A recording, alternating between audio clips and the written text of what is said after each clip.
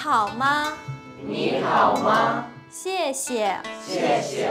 好。 The Confucius Institute has provided Coffs Harbour High School with many resources and opportunities to enhance Chinese language and culture throughout the world. My favourite thing about working in the Confucius classroom is probably just the environment. It's so happy and that just really helps when you're learning.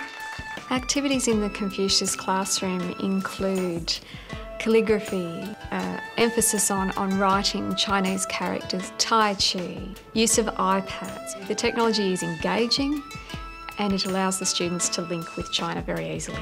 The Confucius Institute really gives me a precious opportunity to come to Australia and teach Chinese here. It is important for the Chinese teaching assistants to be part of our, our program at the Confucius Classroom. They add authenticity. It's, it's real, it's absolute immersion, and that's what our students respond well to. The teachers are really amazing. You need to put it vertical. They know how difficult it is and they're very encouraging, especially when you're learning a language. Students will show great curiosity about the Chinese culture and the Chinese language, so mm, I really like that. But it's also about equipping our students with the skills that they will need in the future.